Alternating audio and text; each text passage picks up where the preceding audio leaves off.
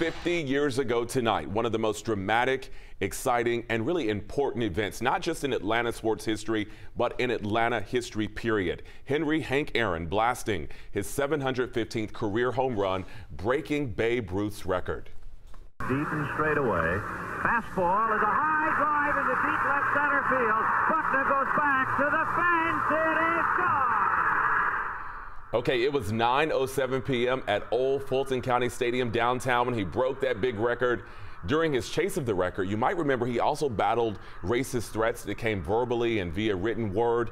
But here in Atlanta, we embraced him. The city embraced him. And on April 8th, 1974, the chase ended in front of more than 50,000 fans. And now we can all relive that night and really everything leading up to that hit. Today, Aaron's widow, Billye, she helped open the Atlanta History Center's new exhibit, More Than Brave, The Life of Henry Aaron. It traces his life from his upbringing in Mobile, Alabama, through his baseball career, and then, of course, his work with the Braves organization. His home run ball flew 385 feet, but the significance of that moment, a black man in the Deep South breaking the most iconic record in sports in the aftermath of the civil rights era, well, yes, that still has momentum today.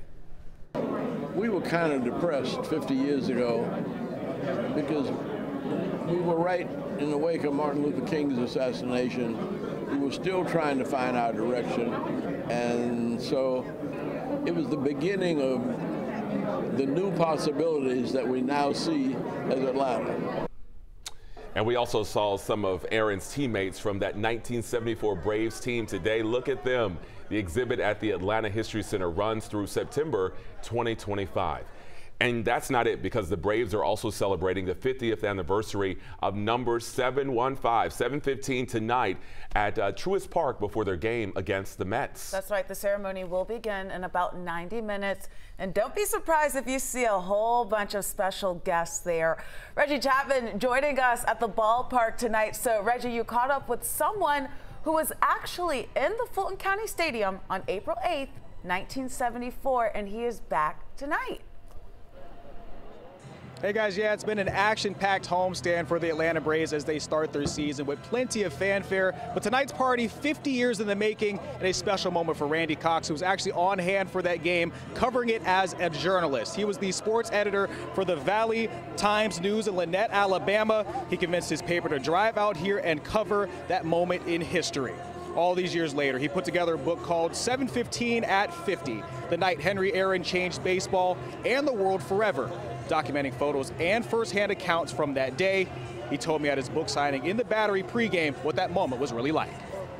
He hit his 600th home run. I was lucky enough to be there for that game, and I was with the, uh, uh, I was going to Georgia State and was doing it for journalism.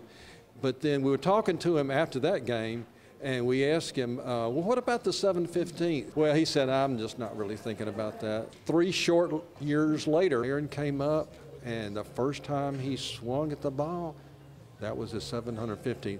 Then everybody went nuts, went crazy.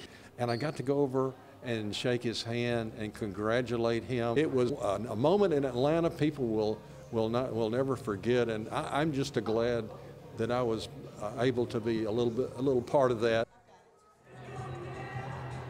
Randy and other fans who were on hand for that game got free tickets to tonight's game if they could prove that they were there. And he told me that it was very easy to prove it when he was able to show them the book. He's very excited to be here tonight for some history.